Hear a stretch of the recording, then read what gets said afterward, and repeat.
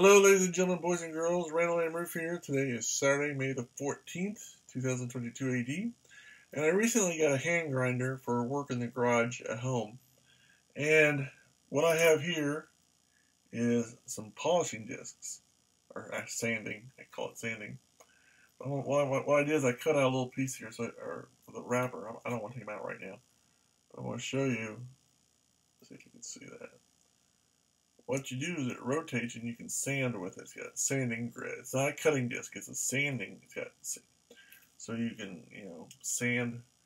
That's very rough sanding, but that's what it's for.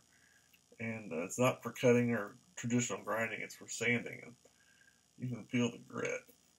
So uh, these are very nice, and uh, got a whole bunch of. for the amount of sanding I do, this is going to last a long time.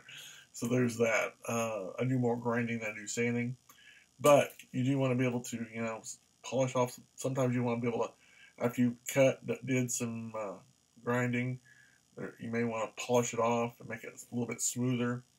And that's what these discs are good for. And uh, like I said, for the amount of stuff that I do, this right here is going to last a very long time. Um, because, like I said, I do more grinding than I do sanding. But very nice, very high quality. Um, thumbs up.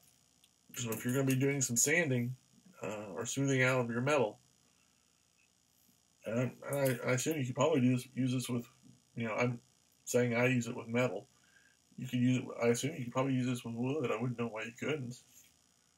Uh, as long as you're careful and don't, you know, um, catch it on fire. But um, Again, I use it for metal, use stuff for metal, but um, so this is very nice.